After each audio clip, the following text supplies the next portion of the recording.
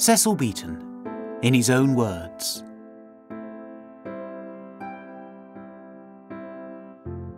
At Home, broadcast on BBC Radio, 7th of May, 1957.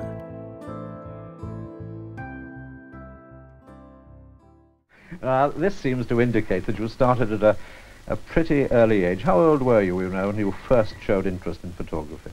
Oh, uh, 11 or 12. My father gave me the usual brownie, and I did the usual seaside snapshotting. But I was very ambitious because from an early age I was stage struck. And I wanted to take photographs that looked like the theatrical photographs outside uh, theaters, you see. So I was a long way off that. But um, my father gave me, I remember, a number 3A folding pocket Kodak, which was postcard size. A great advance. Ah, there, I felt I got Yeah. somewhere. Yeah. And with that, I went on photographing for a very, very long time after I'd become really a professional and gone to America. How did you learn developing and printing and so on?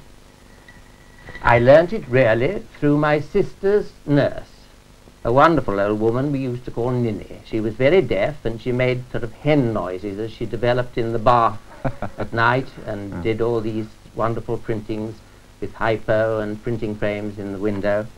I think I learnt a great deal from her, but I was very amateur for a long time and my greatest problem was always to try and get a long enough exposure because of the, in those days the emulsions weren't as strong as they are now, nor the lenses, and I could not think of a way in which the tripod would remain standing on the parquet floor of my mother's drawing room. so there was always a crash at the crucial moment, and I wound the camera up in a sort of red material. It looked a very peculiar cocoon. Yes. I don't know whether you'd agree to this, but it has been said of you that you brought around, uh, brought about a, a kind of revolution in, in photography. Um, what difference was there really between yours and um, the kind of stylized photograph in your early days?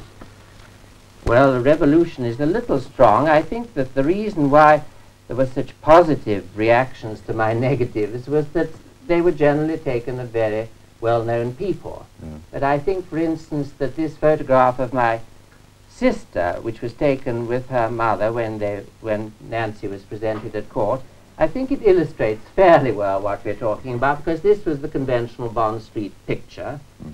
And this other one is um, taken by me. She did happen to be in fancy dress as a shooting star, but Mhm. that I think shows the difference.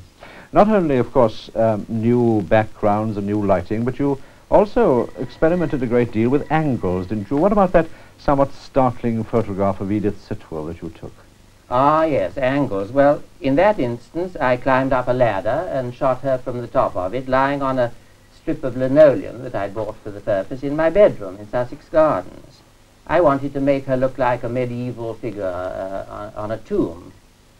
And um, I think that that is not only a question of angles and lighting, but I think I wanted to try and use the camera as a sort of artistic medium whereby I could express myself.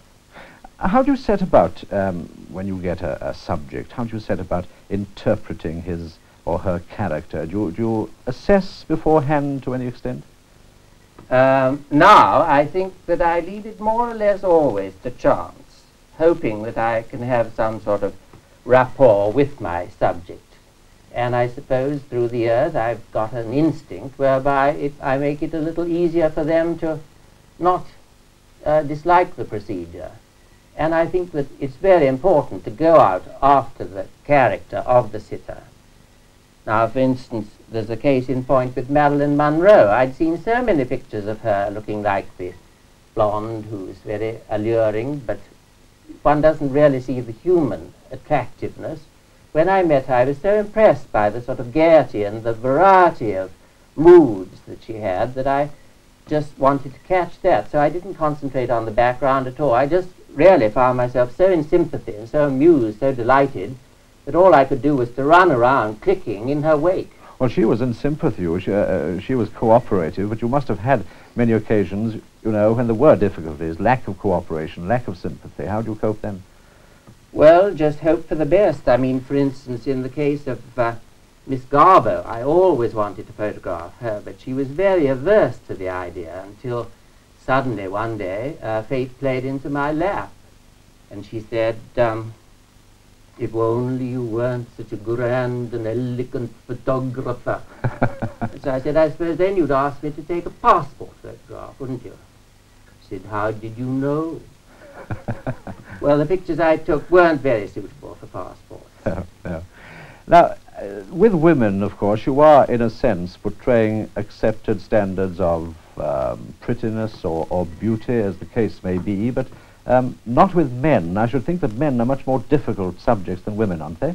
Oh, no, men are child's play. Why is that? Very easy to photograph, because I feel that the camera is a medium that can attack them without any sparing. With, the camera is a very cold, heartless, cruel medium, and I think that most women can't uh, uh, really be uh, treated uh, to the camera's lens without a certain alleviation of the situation.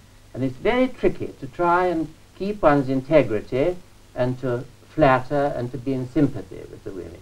But with men, you just bang away and hope that your sitter is someone of interest. There's, for instance, Winston Churchill. Um, I took a picture of him during the war. It was the worst time of the bombing, and uh, every, everyone was in a very grave state. Uh, I remember that in the cabinet room in Downing Street, half of the window panes were covered with brown paper, and uh, by appointment, Lady Churchill showed me into the room where the Prime Minister was obviously very busy working at his boxes, and um, nevertheless he was uh, most gracious. And he turned and said, ah, uh, ah, yes, yes, I hear you're very clever.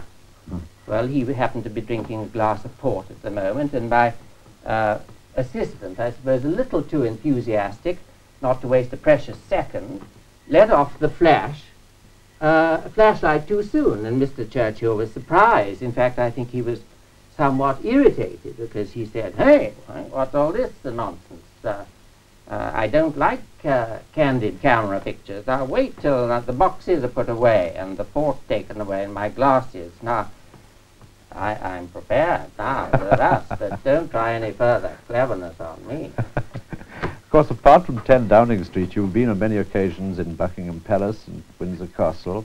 How did the uh, royal photography first come about? Very simply, very charmingly. The telephone bell rang, a feminine voice said, this is the lady in waiting speaking. The Queen wants to know if you can photograph her tomorrow at 3 o'clock. Very short notice. Charming. I suppose you keep those royal photographs in a special album, Joe? Uh, yes. I think it's the green one up here. I don't know if you'd like to have a look at it. May I? Um, we hope you enjoyed this preview. To continue listening to this audiobook on Google Play Books, use the link in the video description.